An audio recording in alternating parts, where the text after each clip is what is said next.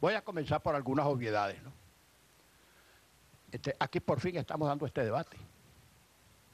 O diálogo, o conversación, o conversación. Por fin, pero por primera vez en 15 años.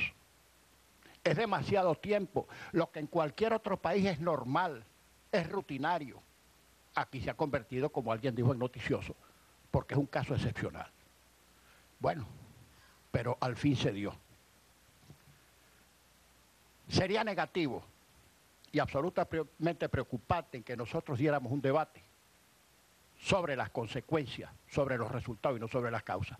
Y he visto que un poco nos estamos circunscribiendo o enfocando en discutir las consecuencias y no las causas. Yo creo que una de las causas, posiblemente la más eficaz, y no voy a decir que deliberadamente para no cargarle las tintas al gobierno, es que el gobierno se ha separado del propio marco constitucional, de su constitución. Yo lo creo firmemente voy a hacer citas concretas. Y no pocas veces al separarse del marco constitucional ha transgredido la constitución. Por ejemplo, cuatro palabras muy socorridas por el régimen. constantemente en el léxico, en los discursos, invariablemente son citadas estas palabras, por razones ideológicas, por supuesto revolución, socialismo, hegemonía y unión cívico-militar. La palabra revolución no aparece en la Constitución. Dentro de la Constitución, todo fuera de la Constitución. A la palabra revolución, no sé por qué, el constituyente, inspirado por Hugo Chávez, desde luego, porque la preeminencia y el dominio que tuvo sobre la constituyente y la fuerza parlamentaria, la fuerza parlamentaria que esa constitución que representa Hugo Chávez, bueno, apenas había, hubo, apenas creo que seis constituyentes de oposición. Eh, cuatro, imagínese usted, y todos los demás eran de gobierno. Entonces, no hay nada en esta constitución que no tenga la impronta de Hugo Chávez. Ahora, ¿por qué razón no aparece en la constitución la palabra revolución? Seguramente porque fue un tema sobrevenido o posterior. Pero bien, no, no aparece la, acertadamente, inteligentemente, no aparece la palabra socialismo. Imagínense usted lo que significaría para un Estado democrático y civilizado consagrar a nivel constitucional determinada teoría o filosofía política. Quiere decir que todas las demás estaríamos al margen de la Constitución. Afortunadamente, esta Constitución no habla de socialismo. Como sería impropio también que hablara de socialdemocracia o de liberalismo o de, democracia cristiana o de lo que fuera, porque el Estado plural y democrático no puede consagrar en la Constitución y como régimen de Estado ninguna teoría, ningún credo político, porque eso es excluyente, porque eso es hegemónico porque eso no significa verdaderamente ejercicio democrático. La palabra hegemonía, y sea conciencia de lo que voy a hablar porque aquí hay muchos cultores del marxismo, la palabra hegemonía, desde Marx hasta hoy, pasando por Lenin y por Gramsci, es la imposición de una clase o sector sobre todos los demás por las buenas o por las malas, porque en esta materia los marxistas apenas discrepan del veto. Por las buenas Gramsci, inculturación, persuasión pero por Lenin la fuerza. Bueno, el concepto de hegemonía es profundamente antidemocrático, porque significa, repito, la imposición de una clase o sector sobre todos los demás. Y voy a referirme a un tema que a lo mejor causa estupor, porque cuando en este país todavía se habla del tema militar, a la gente le corre un frío por el espinazo. ¿Cuál unión cívico-militar está aquí? Aquí no hay ninguna unión cívico-militar, presidente Maduro. Hablar de unión cívico-militar la justa posición a quien más afecta es al poder civil y usted civil. Sobre todo porque en nuestros países, en América Latina, tenemos una tétrica, dolorosa, nefasta experiencia de la irrupción de los militares en política. Los militares cumpliendo sus funciones constitucionales específicas y más nada que eso.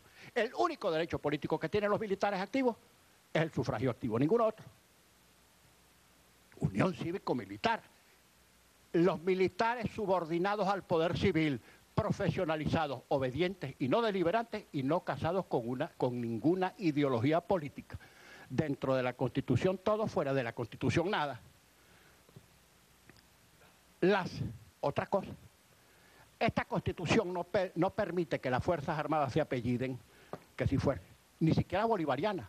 Aquí no hablan de Fuerza Armada Bolivariana. Fuerza Armada seca, ni bolivarianas, ni chavistas, ni socialistas, ni revolucionarias los militares que en los desfiles o en cualquier evento se identifiquen como revolucionarios, como socialistas y como chavistas, están violando abiertamente la Constitución. Y esto es causa de malestar en los cuarteles.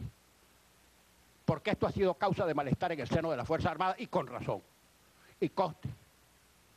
Y ahora me voy a referir a eso. Todos los golpes de Estado son malos, no hay golpes de Estado buenos y golpes de Estado malos, pero a eso me voy a referir más adelante. Las Fuerzas Armadas, insisto y repito, están subordinadas al poder civil cualquier otra cosa que hagan los militares fuera del encuadre que les señala la Constitución están violándolo, violando su juramento y violando su ejercicio. Además, además, la omnipresente tentación, más bien peligro, de los militares al acecho del poder, de esto tenemos ingratísima memoria en América Latina. No solamente en Venezuela, que lo diga Brasil, que lo diga Ecuador, en menos grados Colombia, Chile, Paraguay, Uruguay, el militar que quiera hacer política, que se retire del servicio activo y haga política, bienvenido. Pero mientras tanto tengan el uniforme y tengan las armas, no pueden deliberar porque yo no puedo deliberar como ciudadano con un hombre armado. Por Dios.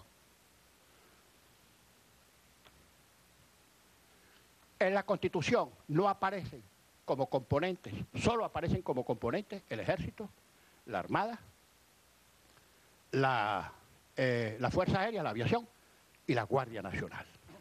No aparecen como componentes ni la reserva ni la milicia establecidas de manera permanente. Yo creo que fueron, es una conjetura mía, porque yo no soy militarólogo, creo, mi conjetura es que después del, golpe de abril, que a muchos de la oposición no les gusta que se hable del golpe de abril, que fue un golpe, primero un vacío de poder, y cuando no aparecieron quienes habían de, suceder al presidente, porque lógicamente se habían resguardado. No, no los estoy criticando, Diosdado no, no, no te pongas bravo, que te reíste. bueno, sí, pero mira, yo no estoy en la asamblea. Yo no estoy, acuérdate que yo no soy subalterno tuyo. Yo no estoy en la asamblea. Bueno, ten calma, ten calma, no te pongas. Estoy diciendo que a lo mejor, te estoy diciendo que no aparecieron porque era lógico que se resguardaran. Porque si hubieran aparecido, a lo mejor los liquidan. Hubo al principio vacío y después hubo un golpe, aunque eso a muchos oídos desentone. Primero hubo vacío y después golpe. Las dos cosas una primero y otra después, pero sí hubo golpe. Bueno, y, esto que yo estoy diciendo tiene la virtud de que no le gusta ni al gobierno ni la oposición tampoco, pero en fin, lo digo porque eso fue lo que pasó. Bien, pero a raíz de eso es cuando Chávez crea los dos componentes, la reserva y la milicia. Pienso yo que como poderes equilibrantes. Porque, ojo, los golpes de Estado no los damos los civiles, los dan los militares.